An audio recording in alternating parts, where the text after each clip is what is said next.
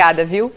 Muita gente não sabe, mas a produção de cinema aqui de Chapecó e região já se destaca no cenário estadual. Prova disso são mostras que ganham força a cada ano, como a Cine Oeste, que está com inscrições abertas. É o quinto ano valorizando profissionais que produzem filmes de muita qualidade.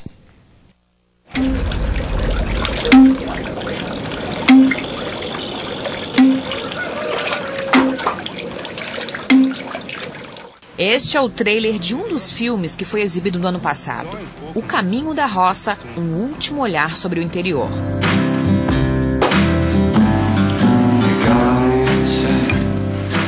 Que, que a gente quis abordar isso, o interior que é o campo, mas também o interior da pessoa, né? Seja de quem fica ou de quem partiu e é chamado a voltar.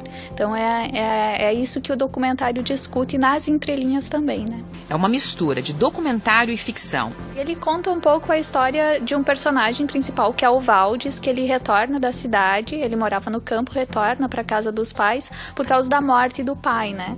E nessa volta que ele faz para o campo, a gente discute um pouco da herança que muitas vezes as, a, a, as pessoas do campo têm, né? Então, os filhos vão para a cidade é, e quando eles são chamados para retornar, às vezes eles têm uma propriedade, enfim, alguns a, a herança familiar que nem sempre é, eles tocam adiante, né? Então, a gente fala um pouco de, de como que essas pessoas que ficam no campo, mas também as que texto. Então o Valdes é esse personagem que ele é ficcional e ele, ele visita o campo e a gente tem entrevistas de personagens reais falando um pouquinho de como que é os filhos indo pro, pro, para a cidade e esse retorno, né?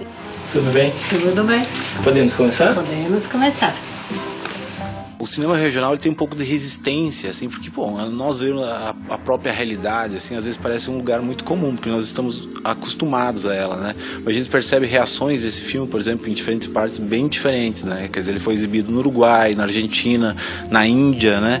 Então, quer dizer, uh, e ele teve reações completamente diferente das pessoas que aqui assistem, né? De se ver no cinema. Então, eu acho que esse esse fator é muito legal, assim, de você perceber novas realidades, diferentes culturas através do cinema. Eu acho que o cinema é um bom um bom meio para isso.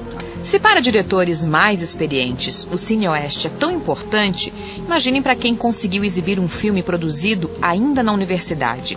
Silêncio Diga-me, ele é um curta-metragem de ficção Uh, e ele foi produzido no curso de produção audiovisual, né? Então, na verdade, ele é um, é um filme independente, universitário, e onde ele é o, é onde culmina todos o que a gente aprendeu em todas as matérias no decorrer do, do, do curso, né?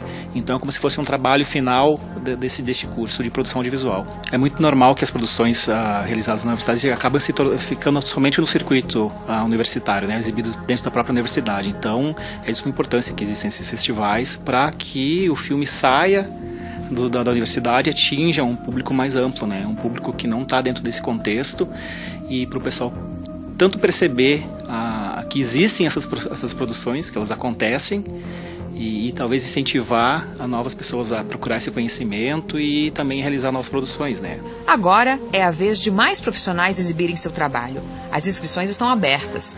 A técnica de cultura do SESC lembra que o único pré-requisito é ter sido produzido aqui na região.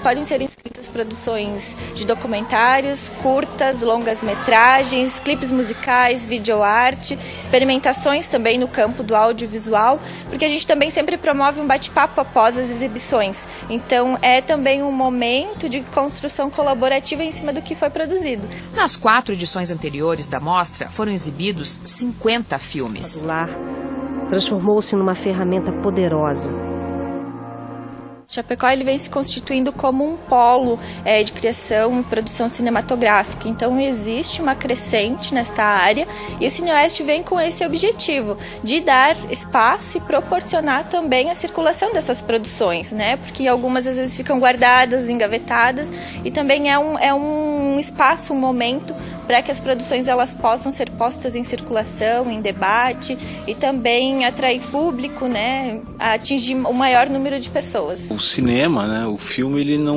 não existe se não tiver público, né? Então quer dizer, por mais que tenha um propósito de contar uma história ultra pessoal ou uma história ultra uh, uh, regional, assim, ele precisa ter público. Então o Sesc acaba sendo esse, esse lugar onde que abarca essas produções independentes, né? Quer dizer, claro que ela não objetiva ter um, um público, um grande público, é um cinema independente. E essa é uma das características do cinema independente. Mas assim, uh, é, é, um espaço que precisa ser preservado porque eu acho que isso incentiva mais produções. Por esse jeito de amar, cuidar e acreditar.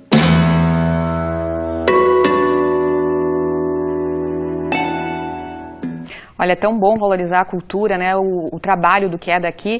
Muita gente que mora aqui na região de Chapecó nem sabe o quanto é valorizado fora, né? Então é valorizado fora e às vezes não é valorizado aqui dentro. Então fica aí, fica aí.